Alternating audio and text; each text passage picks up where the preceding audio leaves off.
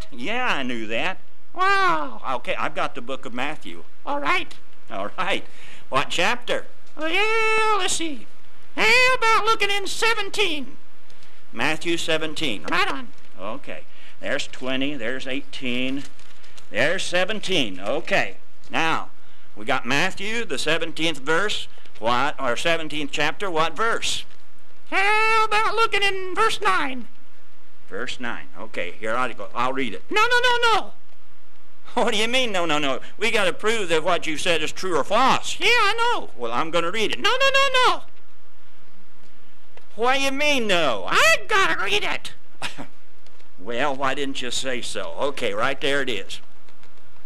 And when they came down from the mountain, Jesus charged them, saying, Television to no man. What? No.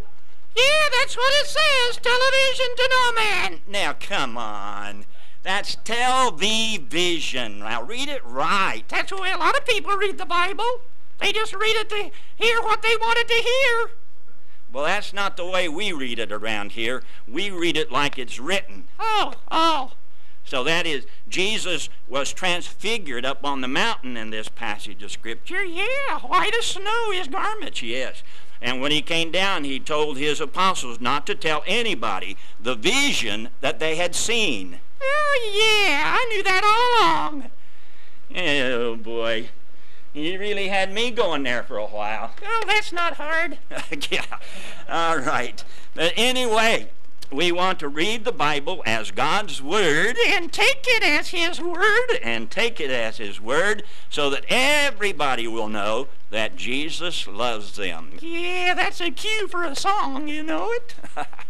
Just about everything we say is a cue for a song for you. Yeah, Jesus loves me, this I know, for the Bible tells me so. Little ones to him belong. They are weak, but he is strong. Yes, Jesus loves me. Yes, Jesus loves me. Yes, Jesus loves me. The Bible tells me so. That's right. The Bible tells us that Jesus loves all the little children. But we're not going to sing that one. We're not? No. Instead, I think you ought to sing your theme song. Oh, yeah, yeah. I sing it everywhere I go. Yes, I know that. Yeah, and I'm here. Yes, I know that. That's because I'm not all there. well, you said it. I didn't. Yeah, I can. You can't. Oh, I see. Well, anyway, sing the boy, sing your theme song for the boys and girls, and they'll recognize it if they watch us on Tuesday afternoon at four. Yeah. And Saturday morning at nine. At nine. You hear that, Rita? Nine. uh, you're not going to let her forget that, are you? No, sorry. All right. Anyway, here. Oops. Hey, you lost your shoe. Don't tickle my feet. I'm sorry about that.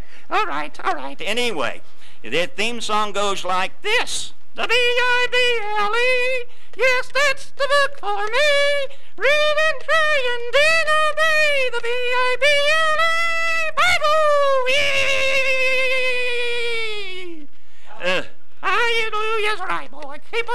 preaching there. Yeah. Yeah. Anyway, I don't know why you do that on the end there. Oh, you mean you for the Bible? Yay! Yeah, yeah. I'll tell you why. Okay, why? Tickles my innards. Tickles your innards. Makes me feel good. Oh, I see. From the top of my head to the tip of my toe, see? Oh, come on. Cut it out.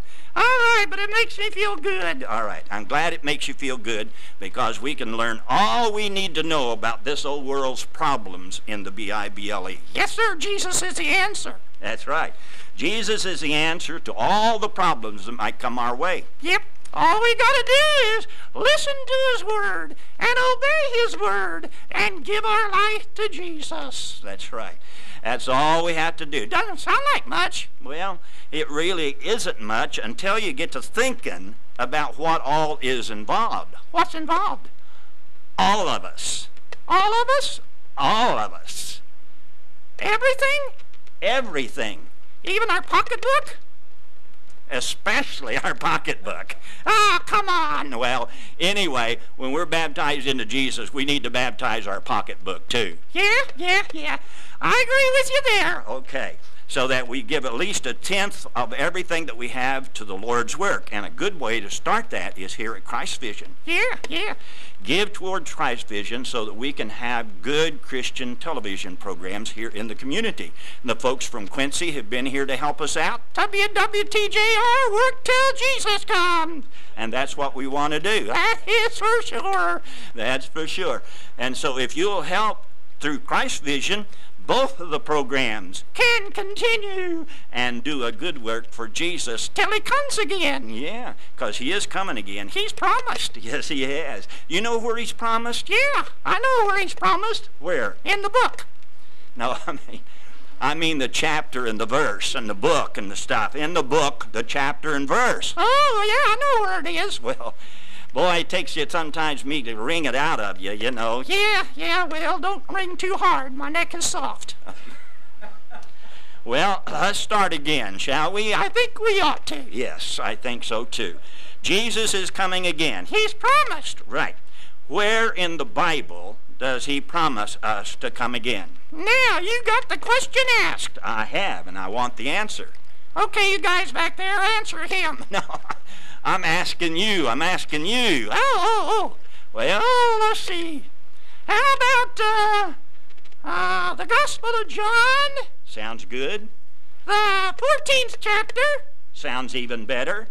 the third verse? Sounds like you hit the nail on the old head. Yeah, I'm adjusting chip off the old block. Oh, boy. But anyway, what does that say? He Says, if I go to prepare a place for you, I will come again and receive you unto myself, that where I am, there ye may be also. That's right. He's promised it himself. I will come again. Angels even said he was going to come again there in the first chapter of the book of Acts. Say, boy, why do you stand here watching him go up in the clouds? He's going to come back like he's going in power and great glory. That's right. He's going to come again with power and great glory. Hallelujah. hallelujah is right. Oh, hallelujah. Well, anyway, we have an opportunity to recognize that Jesus is the way, the truth, and the life. No life without him. No real spiritual, truthful life without Him. That's what I meant. Yeah, okay. I'm glad that's what you mean because I want you to tell the boys and girls here before we have to leave why I named you Daniel. Oh, you mean after Daniel, the Old Testament prophet? That's right. And I want you to tell them why I named you after Daniel. Oh, I can do that all right. All right. Because he was so, so good looking. oh, Danny, I don't know what I'm going to do with you. I don't know what you'd do without me. no, I guess that's about right. Yeah, and you don't know what you'd do without me either. Yeah. I guess that's right, too. Yeah. So now, you, I, I, I at least had three reasons why I named you Daniel, Danny, after Daniel of the Old Testament. I want you to give me those three reasons in a way that those out there listening can understand them. You understand me? I understand you. Good for you. All right. Number one. Number one, he had great faith in God. Great faith in God is right. He was he had been brought over into Babylon by Nebuchadnezzar. Gesundheit. And what What's the matter? why'd you say Gesundheit? I say that when you sneeze. I, I didn't sneeze. Yes, you did. Now I was telling you about the king of Babylon who had brought the people of Israel and Daniel over into Babylon. What was his name? Nebuchadnezzar. God bless you. Well, why did you do that for? I say that too when you sneeze. I didn't sneeze. You said Nebuchadnezzar. Gesundheit. What? Turnabout's fair play, I always say. Well, you don't have to say it here. I guess. But anyway, he was the king, and he conquered the people of Israel, brought them over into Babylon. And Daniel was one of the men, young boys, in fact, that came over with the people of Israel. And he continued believing in God and stood up for God. Yes, he did. Yes, he did. He was a man of great faith. Second, He was a man of great prayer. prayer. We want to pray right here in in Christvision Studio that people will respond and send their money down here so that we can continue to tell boys and girls to be a, a boy and a girl of prayer. Right on. Because he prayed three times every day. Really? Yes. He entered into his room, bowed down in the window facing east, and prayed in the morning and afternoon and evening. He prayed for breakfast? yeah, I guess so. That's four. All right, he prayed four times. Did he pray for dinner? Yes, I guess he prayed for dinner. That makes five. yeah, well, okay, five times. Did he pray for supper? Come on. Well, did he? Well, I guess he did. That's six. Yeah, that's six. Did he pray before he went to bed? Will you cut it out? Did he? Yes, he prayed before he went to bed. That's seven. He was a man of prayer, by Yemeni.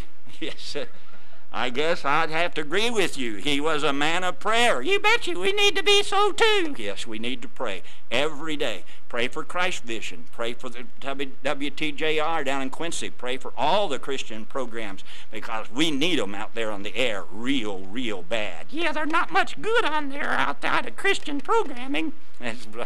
sorry to say that's about right. Third one, third reason. Oh, he had great courage.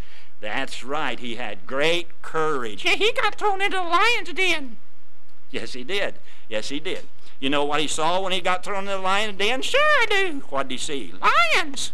That's right. What do you think he'd have seen? Pussycats or something? It was a lion's den, you know. and he saw the lion. Yeah, yeah. And they were getting ready to jump on him and eat him up. No, they weren't. Yes, they were. They had been kept hungry and they were going to eat him up as their dinner. They weren't going to eat him up. Danny, th- they were going to eat him up. Well, I hate to say it, but you're wrong. Now, I could get the Bible out and show you where they were kept hungry and they were going to jump on Daniel. Okay, so far. And eat him up. There, you're wrong. What do you mean, there, I'm wrong? You don't think eat things up. You eat them down. You eat them down. Well? I got you, didn't I? I guess so. You eat them down. It's only when you get sick they come up. Oh, come on. Cut that out. Yeah, yeah, yeah. Anyway, he was thrown in the lion's den, right? Yes, sir. And they were to be his dinner. No, he was to be their dinner. Yeah, he's not going to eat them down. No, he's not going to eat them down. They're going to eat him down. No, they're not. God won't let them. I see.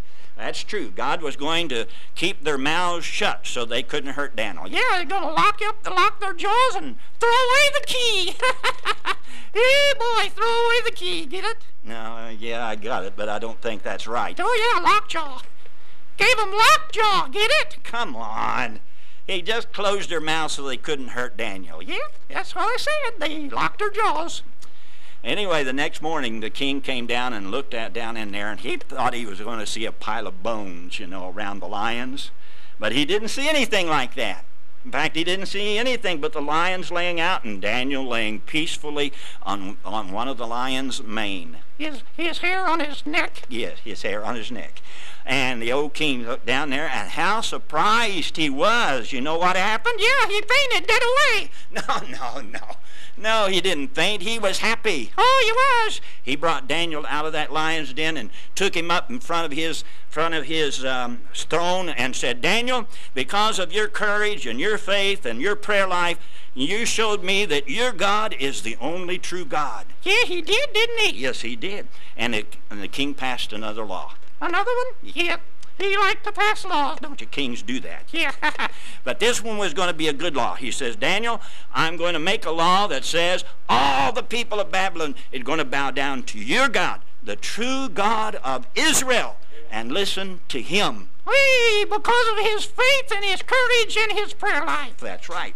And that's why I named you Daniel, Danny, after Daniel of the Old Testament. A man of courage, a man of prayer, and a man of faith.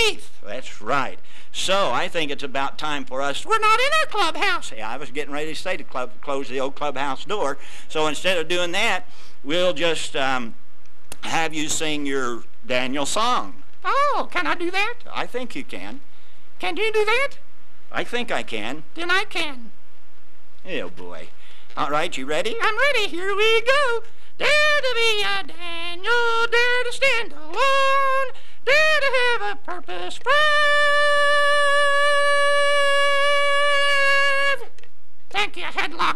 Oh, come on. Dare to make it known. That's right. We want to make our faith known to everybody. We want to be a man of faith, a man of prayer, a man of courage. Belonging to God. Take your stand for God and show it by supporting Christvision and Christian television so that we can tell boys and girls for Jesus. That's what we want to do. Yep. The B-I-B-L-E.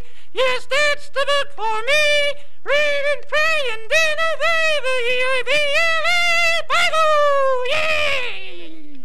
Keep on loving Jesus, cause he sure does love you. Don't forget, send your offering to Christvision. We will bless you for it. He will, he will. Yes, he will. So long, everybody. Bye-bye.